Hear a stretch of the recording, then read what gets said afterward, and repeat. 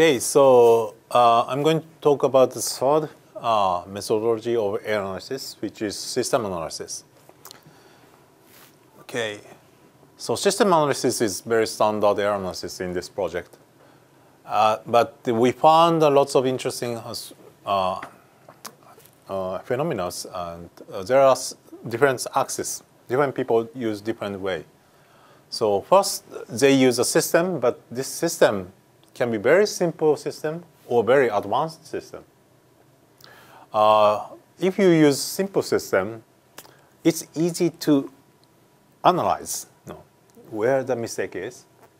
So some people, some, some task which, for example, uh, named entity task, if you know all the people name, all location name, you can just match it. But it's not enough. What is the remaining problem? That's how people use this, uh, how they analyze using the simple system.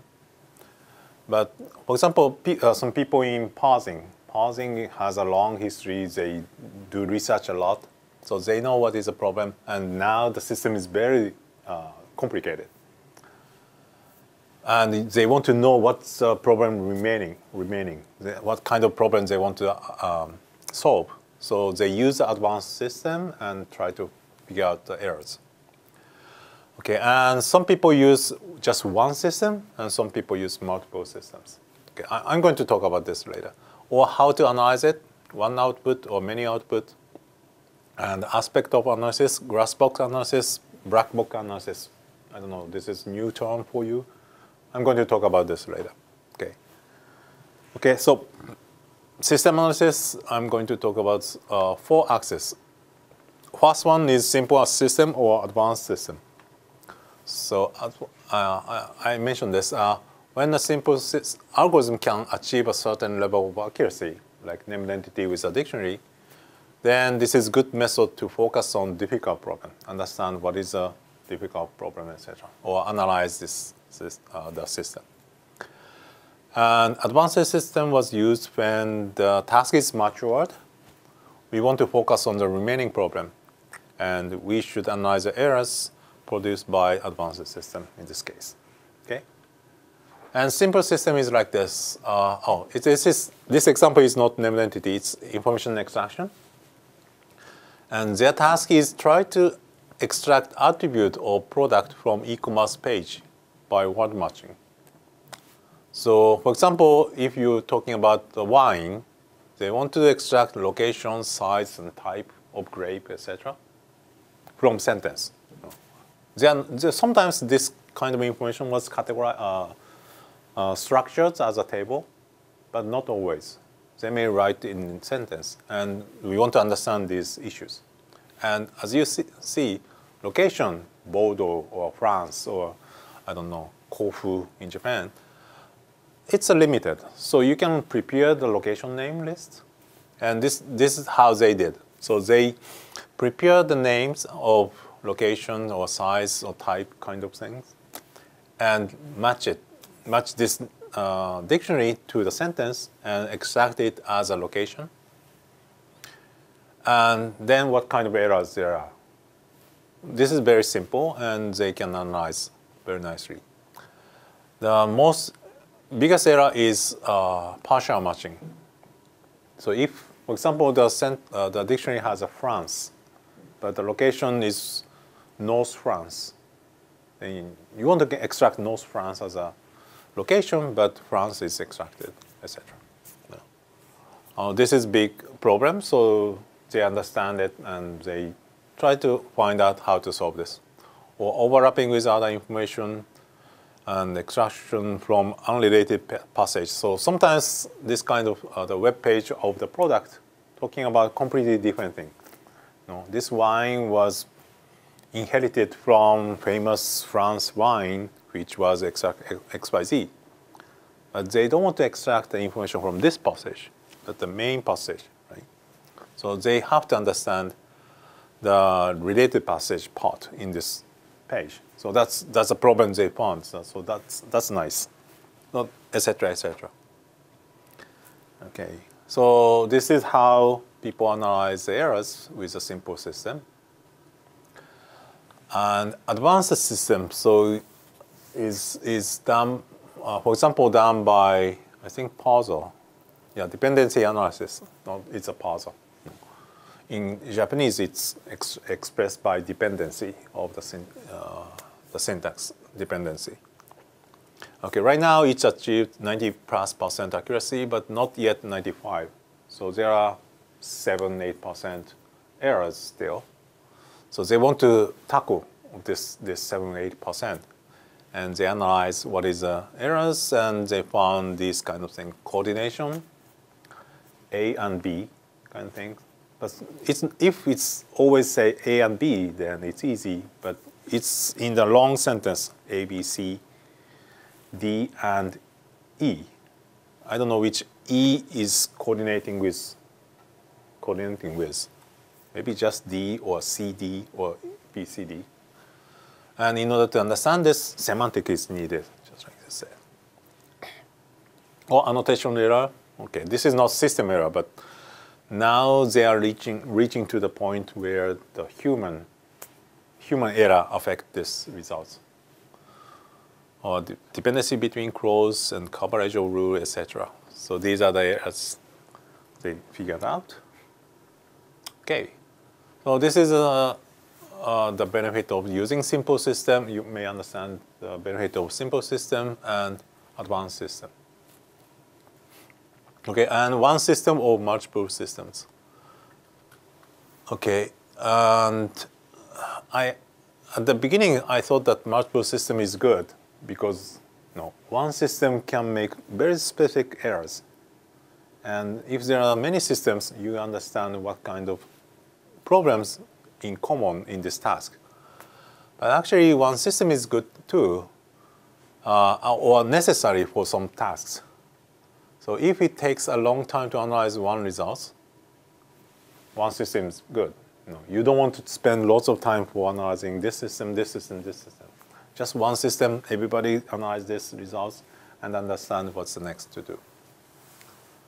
And in particular, if the golden data cannot be easily created, no. Um, and uh, I'm going to have an example. That's uh, information retrieval.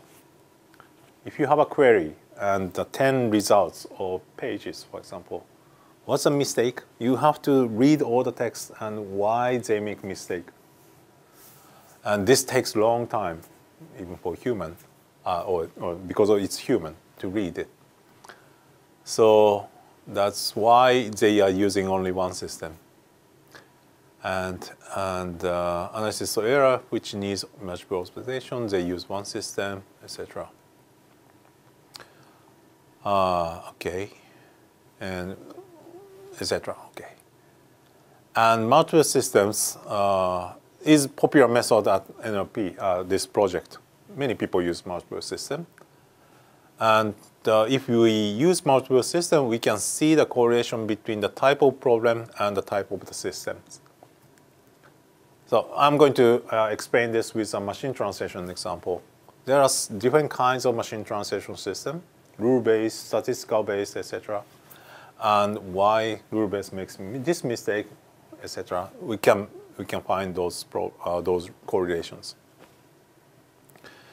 And uh, problems no system can solve are the most difficult problem to tackle in the future.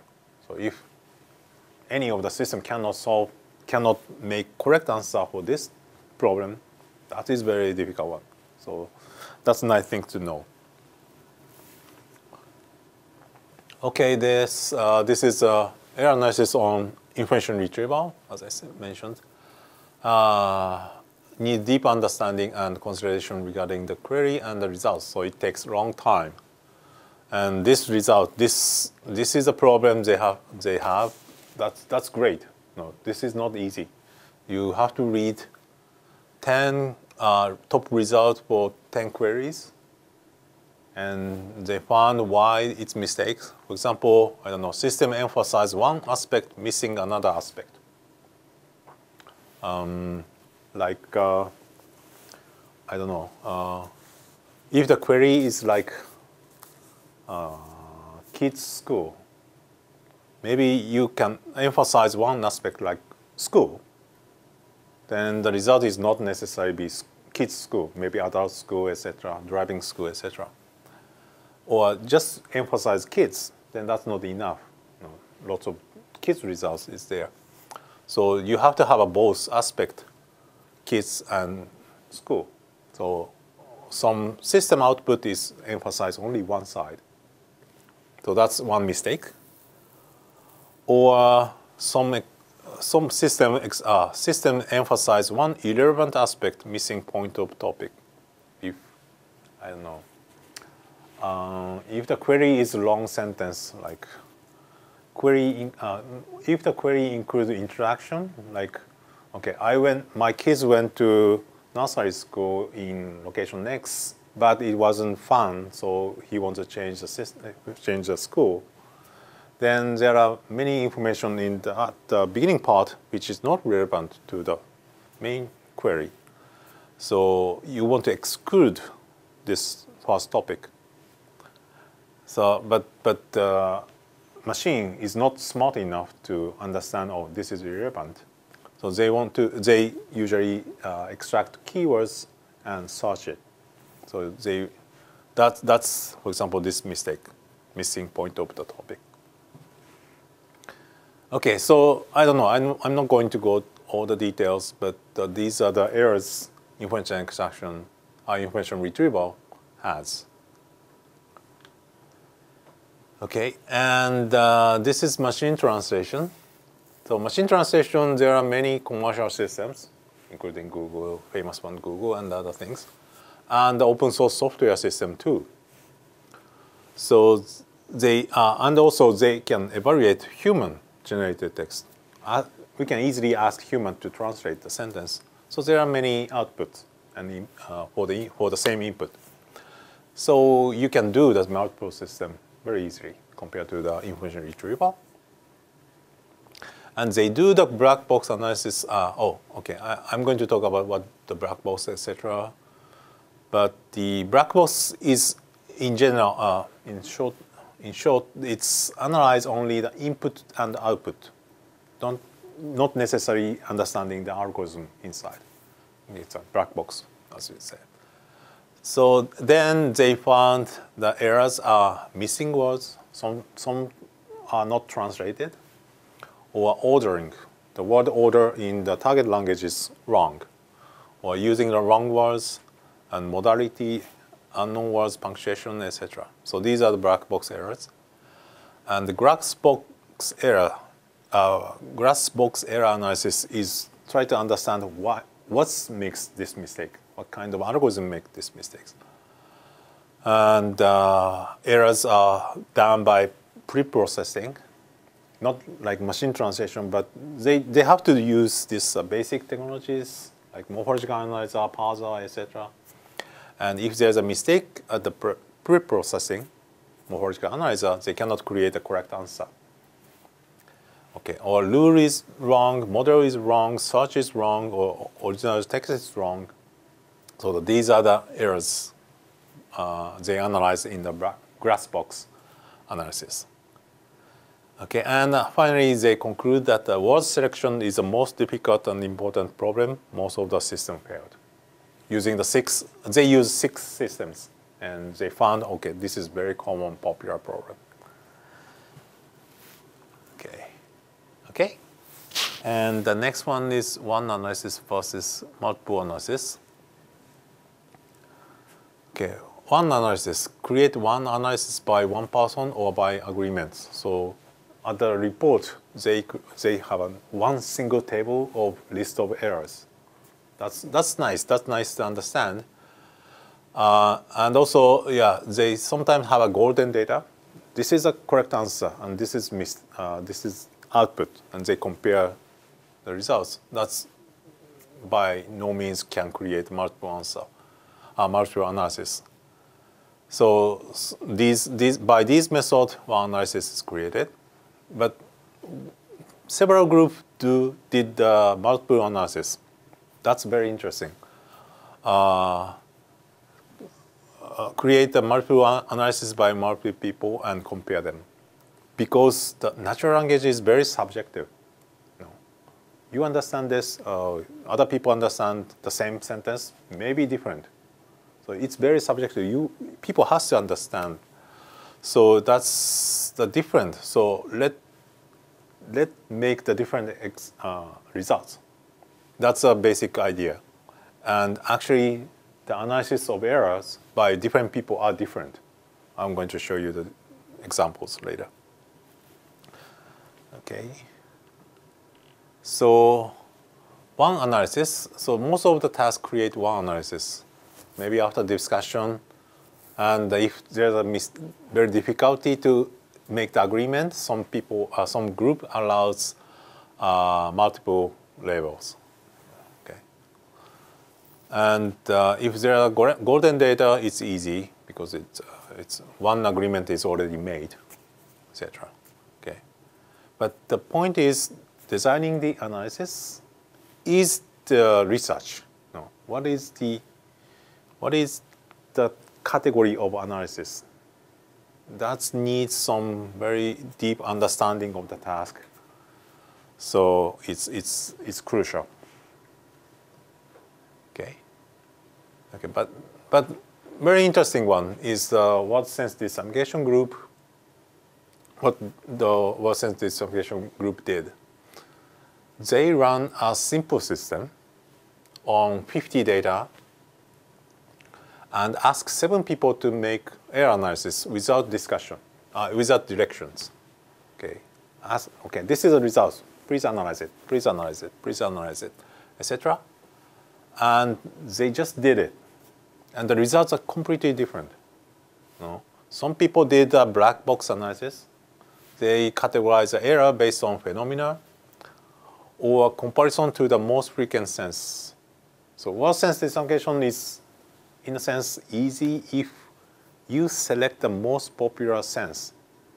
You know, in case of bank, for example, financial institute is the most popular word sense. If you select always the financial institute, then maybe 60% accuracy. You get 60% accuracy.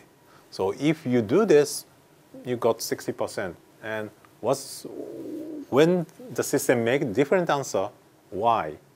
And if it's mistake, why? That's the way to analyze it.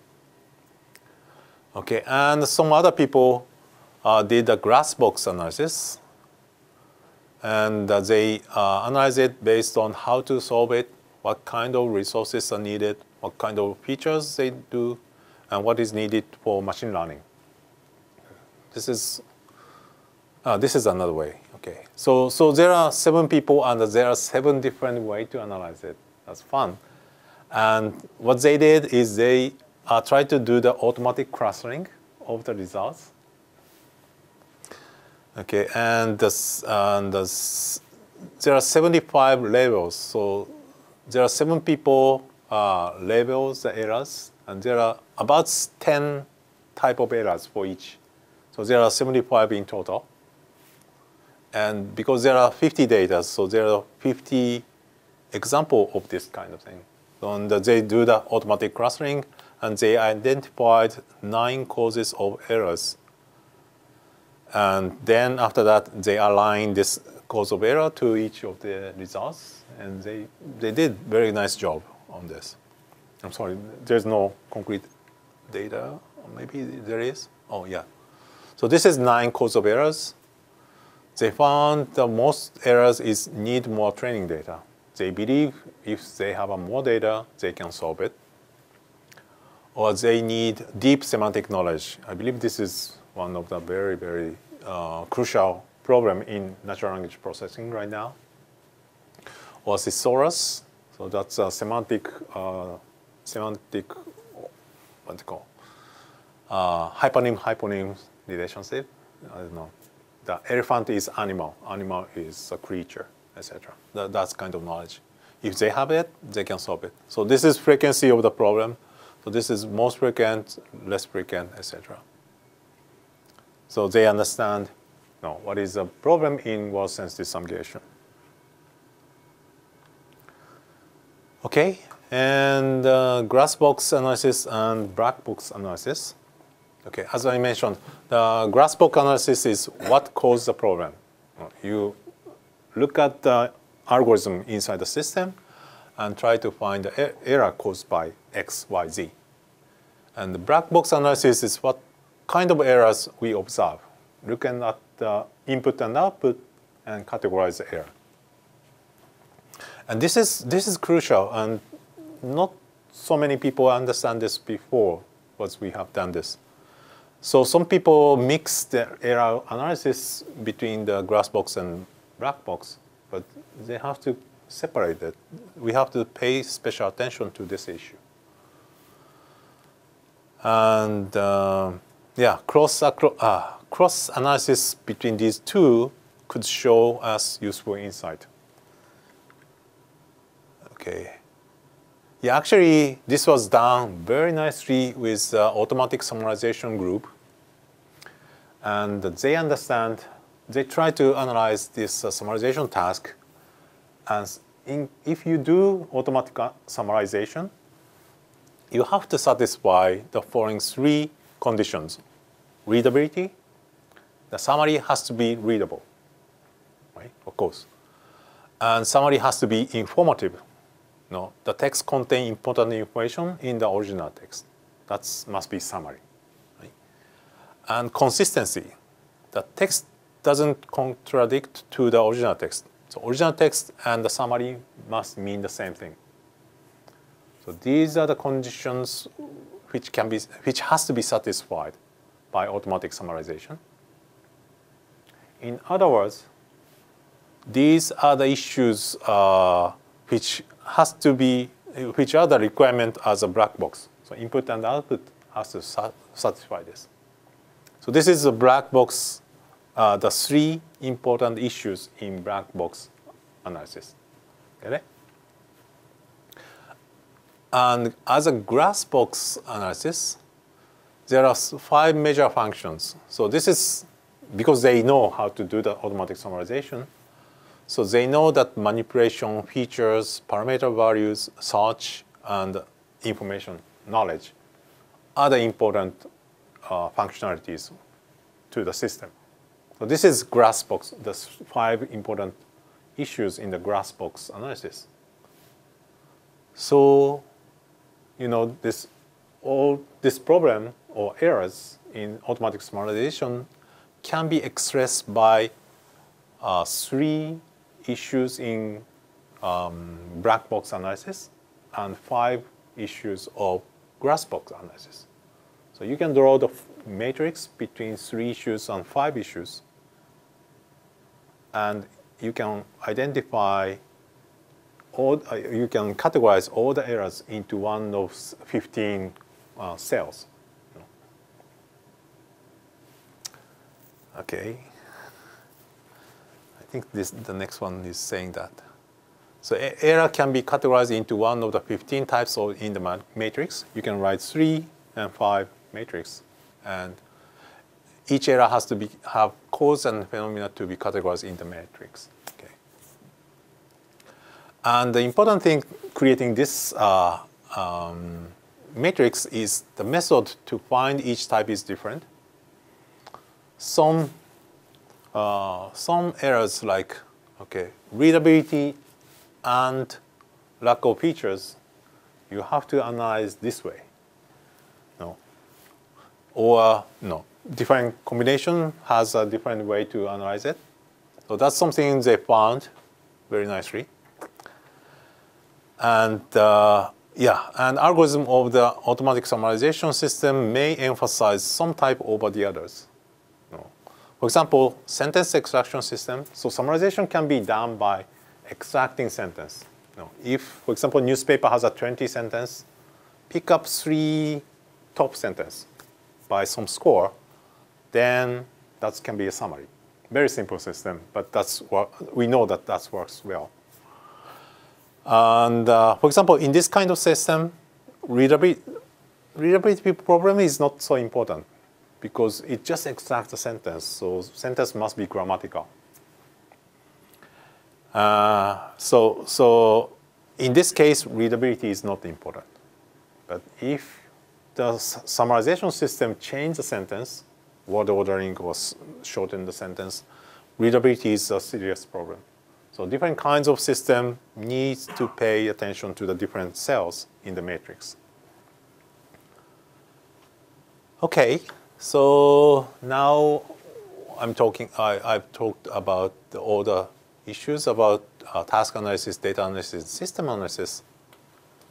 But there are two more issues uh, we found very, very unique and very interesting error analysis method. First one is what if analysis. Okay, Not, uh, this is morphological analyzer.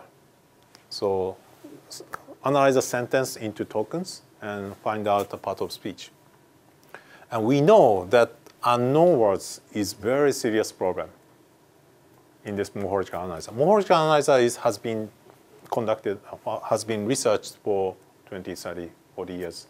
So we have done lots, but still the unknown words, newly created words, is not in the dictionary, and we, we make mistakes. So what if there is no unknown words? That's that's interesting question. Okay, and they did this experiment. So original system has unknown words. Okay, and the result is correct answer, uh, correctly segment tokenized sentence is uh, 11,000 plus 154. Okay, and make mistake like about 10% or little more. No, 20, 20%. Hmm? Well, that's not very high. Maybe their text is like a Twitter or something. That's, that's difficult to analyze. Okay. And then, um, so no unknown words. So this, this is a new system, which doesn't have any unknown words. Okay. Register, register all, the, all the words into the dictionary then correct answer and incorrect answer. So it's improved. Okay, the I think the number of tokens it's improved is this much, 10% accuracy improved. Um, originally incorrect, changed to correct. So this is big number. But the problem is, okay, originally correct one changed to incorrect. By adding new, the unknown words makes mistakes why it happens, or still remains incorrect. Okay, why these are problems? Okay, and they found the they they analyze. Okay, it's not just one sentence. They analyze um, a lot, but the the main cause of the error is short functional terms in hiragana. Um, you know, some some uh, Twitter words using very special expressions, like su itself is a word sometimes. I don't know, su. Um, maybe, yeah. But there are many um, unusual expressions in tweeters. And if it happens to be hiragana, then that makes, that confuse the system a lot. So 154, it's not big, but still that can happen. So you have to be careful. Um, I'm sorry, I didn't have an example, but um, have be, you have to pay attention that adding words could hurt sometimes. And incorrect one, so still incorrect to incorrect, even adding the unknown words, is that, that they have a system, uh, their, their system has a function that unknown word estimation, estimation. If there's unknown words, then uh, uh, if there is a, this kind of condition, you can identify this is maybe unknown words. And this works too much. And uh, uh, still adding correct words, but they output incorrect results Okay, so something like that. So they understand by this method. I, what I want to explain this is the methodology of analysis and what if analysis can produce this kind of results. It's very interesting. I, I, I want you to take back that that kind of method exists and you can try that. Okay, and uh, named entity as well. So named entity dictionary is very crucial resource. List of names, list of people name, list of location name, etc. And it did, it improves accuracy 10% or more from I think the 70% or something like that. But uh, the results get worse in artifact. So location, organization, person, you can just add lots of names. But artifact, name of things, just general thing. There are lots of names in artifact. You know, can be some, some name of the product. So that co that's caused a misunderstanding, and the system was confused. The results is get worse. Okay, so the conclusion is any type ambiguity. Uh, uh, okay, so and also any type ambiguity. So for example, the same name like um, Ikeda can be a person, can be a location. And this kind of problem cannot be solved by just adding entities in dictionary, of course. You have to have a context understanding. This is person name, this is location name. Okay. And uh, yeah, conclusion is uh, problem remains in the treatment for the complicated NE types like artifact. We don't know how to solve this yet, not just by adding the names. Similar problem for the morphological analyzer. Okay, and the final one is relation to other tasks. So as I showed at the beginning, the structure of NLP tasks, NLP tasks consist of different components. And some components need perfect results from some other component, but not necessarily or, or always. So NLP application use many component technologies, but it's not necessarily the case that 100% accuracy is needed in the following applications. Okay, so we want to know what kind of morphological, for example, we want to know what kind of morphological analyzer error propagate to review analysis. Okay, and they analyze this, and they found that the clause analysis errors, uh, clause dependency, it's a well, okay. It's a clause is a long chunk of sentence uh, of words, long chunk of sentence, part of, uh, long part of the sentence, uh, and we want to we have to know the dependency between the uh, conditional clause and conclusion clause, etc. That's the one of the major cause of error in this application in the review analysis review analysis. We have to know this is a precondition clause or, or main, main part of the clause, main uh, clause, etc. Okay, and uh, sometimes different opinion for different aspects are expressed in sequential clauses. No, the, the onsen is good, but the service is bad. Sometimes they analyze bad for the both sides. And that's changed the review, the sentiment of the review. So that kind of things has to be accurately analyzed. And that's difficult for machines so if the sentence is complicated. Okay. And also they did, uh, the people in word sense disambiguation people did analysis that how much word sense disambiguation system can help machine translation.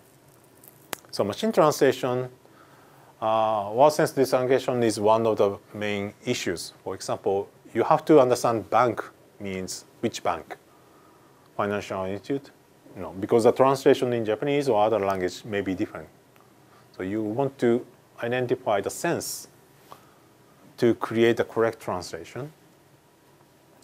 And they analyze the errors in machine translation system. And the, if you have a perfect word sense disambiguation system, how much they can help. They found 50% it helps. Nice. And they found 20% they need finer sense definition. Okay. They, the word sense disambiguation people use dictionary, Japanese dictionary or some dictionary. But the, sometimes the, the sense in this dictionary is not good enough. They have to separate the sense much finer way. Okay, or the 14% need more knowledge, 40% was, this is not the word sense distinction problem, etc. Okay, this can encourage the people in machine translation because they know half of the problem can be solved by this. But because they found this, uh, what they try is that they define the word sense based on the translation. Assume the possible translations are the word sense. So only when the translation words, translated word, are different, they define these are the different senses. That's very natural for machine translation people. So they did this kind of experiment, and the small experiment shows encouraging results. It is very important but difficult to collect the data. So they have to create this kind of dictionary from scratch. So that's difficult. And uh, they found appropriate sense definition for the application is crucial. So this 20% is a problem. Okay. And they, they also talking about the relationship of word sense distinction to other tasks. Uh, semantic role labeling, syntactic analysis, maybe interesting future directions. Okay. Word sense distinction is very, very important semantic problem. Okay, so this is uh, what they found. Okay, so from this project, uh, maybe 20 or more uh, error analysis, we can categorize the errors in this kind of list. And uh, I think this is, can be a good reference. Uh, if you want to do error analysis, okay, we have to take simple system or advanced system. Uh, let's see what's if we, we use one system or versus uh, multiple system, etc. Well, we may need data analysis or task analysis. So you can just understand this task, this kind of information so that you can do the good error analysis. Okay. Okay. So thank you very much for listening, and uh, I especially thank for the leaders and participants on the advisors of Project Next NLP.